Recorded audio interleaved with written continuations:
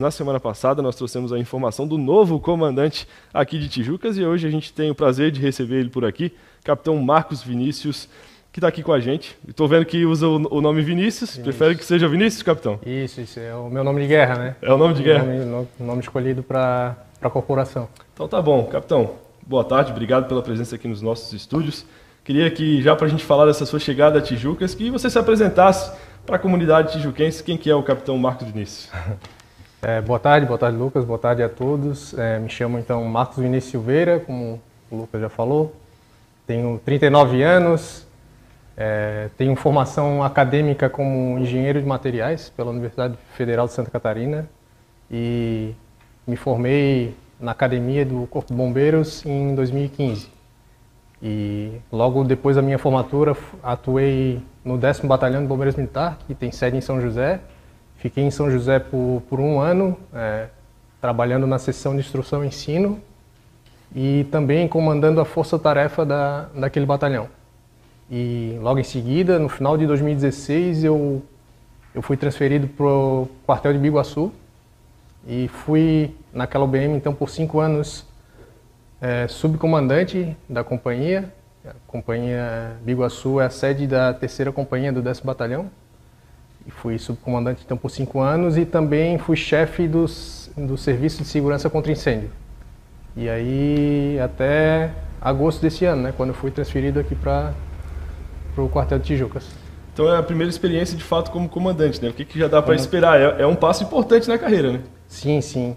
É, né, como subcomandante a gente tem diversas oportunidades de comandar também, né? Porque todo o afastamento que tem do comandante imediato, a gente assume como, como comandante respondendo pelo comando, né?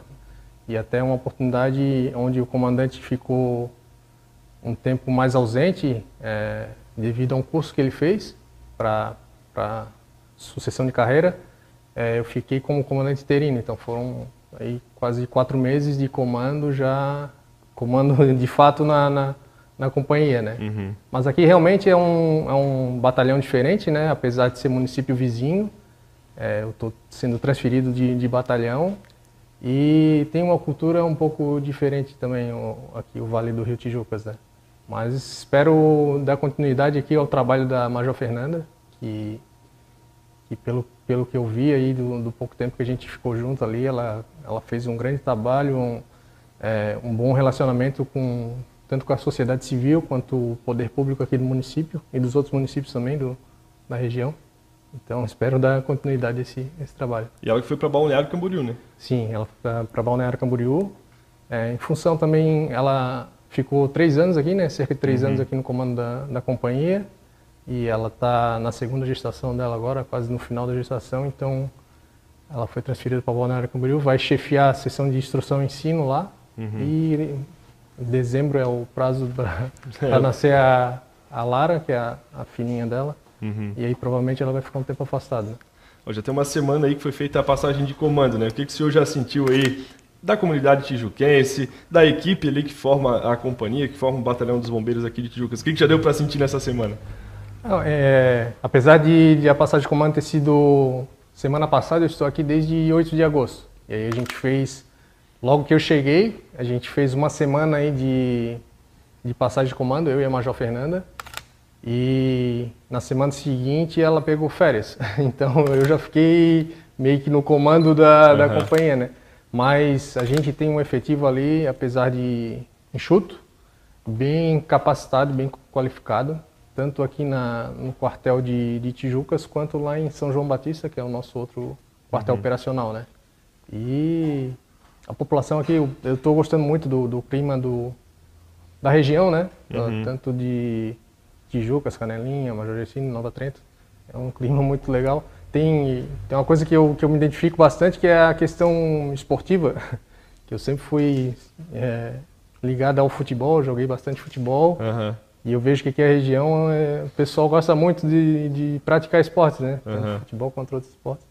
E eu achei isso aí muito interessante. Tem futebol, tem campeonato de futsal rolando aqui em Tijucas, é, então, então, o esporte não vai faltar por aqui, tá? legal, legal. E a gente, o senhor falou sobre o efetivo, que é, que é bastante enxuto, e eu aproveito para fazer uma pergunta mais de avaliação, né? Como é que está o efetivo do Corpo de Bombeiros hoje, aqui da nossa região, claro, né? É suficiente para o atendimento à demanda? Questão de equipamento, veículos, o senhor já identificou alguma demanda que se faz necessária para que o atendimento melhore ainda mais? Sim, sim, a gente sempre, questão de equipamento e, e ferramentas ali, a gente sempre procura qualificar, né? É, a gente tem uma vida útil ali, de, por exemplo, as nossas viaturas ali. Nós temos um, uma ambulância que tem cerca de sete anos de uso e o nosso que a gente tem como regra é que a ambulância fique no máximo cinco anos como é, na rua, né, em, em, utilização. Depois disso, o desgaste é muito grande, a manutenção é, é cara, mas a gente está recebendo, tá para receber aí do, desse pacto que, que foi feito com, com, o governo do estado, uma, uhum. uma ambulância nova aqui para o nosso município. O, o, nosso caminhão tem, tem mais de 10 anos também de uso. É um caminhão ainda em bom estado, mas é, a gente sempre tem que ficar com essa preocupação de, de daqui a pouco ter um, um novo equipamento para atuar, né? É, a outra colocação que o senhor falou sobre... O efetivo. Efetivo. Efetivo, nós temos um efetivo bastante enxuto. É, no operacional, nós temos aí atuando dia a dia dois bombeiros militares e aí fica um, um responsável por cada viatura, né? Uhum. Tanto um na ambulância e um no caminhão. E aí nós contamos com o apoio dos bombeiros comunitários, né? Que hoje é o que faz que nós que nós possamos atender a população sem que sem prejuízo, né? Porque uhum. se não houvesse os bombeiros comunitários, certamente a gente teria que trabalhar no que a gente chama de pula-pula, que é um, os dois bombeiros é, militares trabalhando tanto na ambulância quanto no, no caminhão. Então, quando tem uma ocorrência para ambulância, nosso caminhão automaticamente baixa, né? Então a gente está trabalhando no limite, assim como quase uhum. a totalidade do estado. E essa é a realidade nossa, né? Tá mas, mas a gente tem esse apoio dos bombeiros comunitários aí que é bastante importante. Tá certo, capitão. Para a gente fechar, queria que o senhor falasse à comunidade o que, que ela pode esperar deste novo comando e, claro, do, do Corpo de Bombeiros como um todo, e em especial aqui no município de Tijucas. É, então, a, a, população pode esperar um, a continuidade do trabalho da Major Fernanda, porque ela, pelo que eu percebi, ela fez um, um bom relacionamento aqui, tanto com a sociedade civil organizada e também a população em geral e também com, com os órgãos públicos, né? É, a gente está sempre de portas abertas, o Corpo Bombeiro, Bombeiros aqui de, do município recebe, é, desde que eu cheguei aqui já recebeu, acho que umas cinco turmas de tanto de colégio quanto de programas sociais, né? Programa uhum. social do, da DEC ali, que nós temos o Projeto Crescer. E a gente fica muito feliz de, de receber esses, essas crianças lá para mostrar um, um, pouco do nosso trabalho e às vezes até é, nortear um, as crianças para talvez uma, uma, carreira futura, né? Uhum.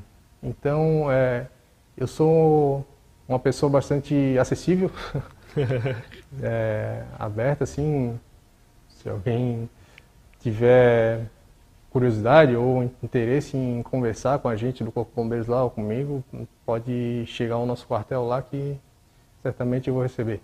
Tá certo, capitão. Obrigado pela presença aqui nos nossos estúdios. Bem-vindo aqui ao nosso município, à nossa região e um bom trabalho aí à frente do Corpo de Bombeiros. Valeu, obrigado Lucas, obrigado a todos que assistiram.